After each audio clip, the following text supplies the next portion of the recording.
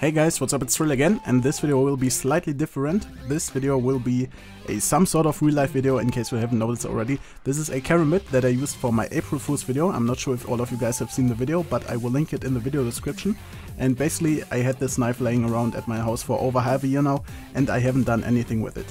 This weekend I decided to paint it. Um, I wanted to paint a Karambit Crimson Web, since I can't afford that knife in game, so I decided to paint it in real life. The paint I use right here is, is basically some nail polish that I stole from my girlfriend, so please don't tell her.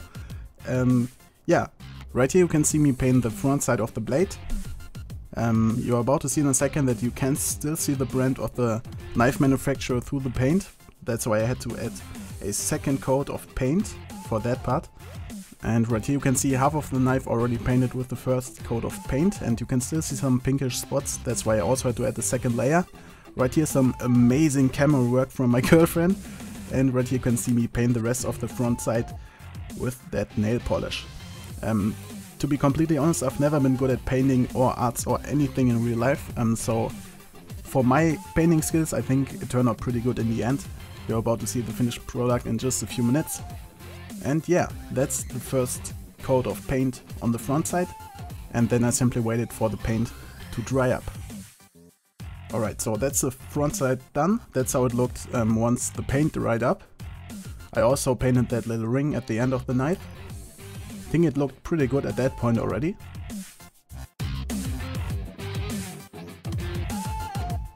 And after that I also had to paint the back side of course. I started at the tip this time because I had some problems on the other side when I um, had to paint that curve towards the handle.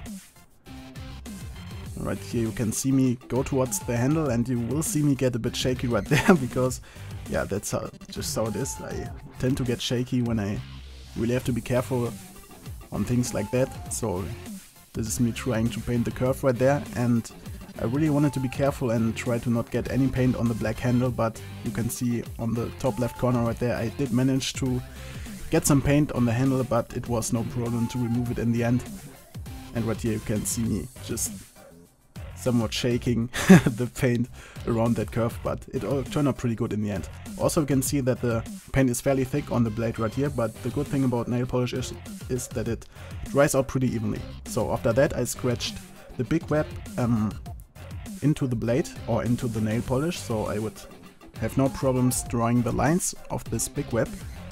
Um, you can't really see it in this shot because the nail polish reflects the light so much, but in this shot you can see it fairly well. I'm already drawing those tiny lines of the web.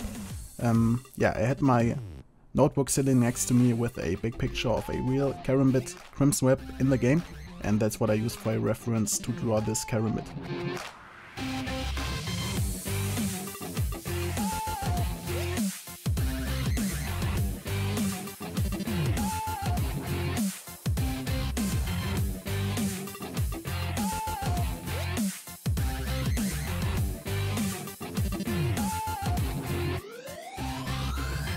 So at this point I was almost done drawing this web and it went fairly good.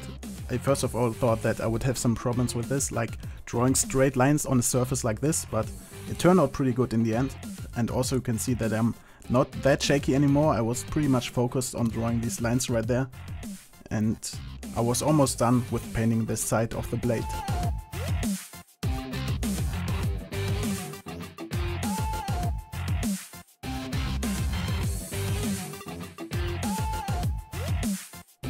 After that I had to scratch the cutting edge of the knife because that's what a Karambit Crimson Web looks like in game. So I've done that and after that it looked like this. So you can clearly see the cutting edge right there. It looks a lot better.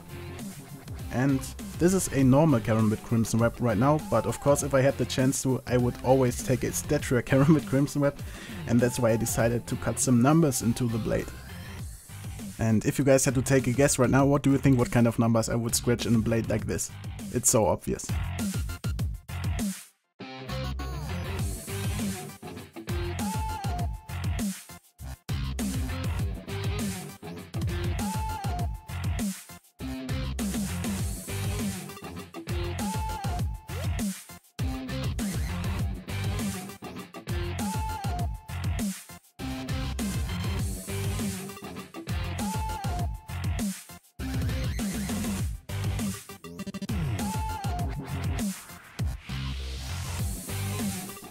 Alright, so this is the finished product. I think it turned out pretty good for the fact that I used some nail polish and a marker to make this.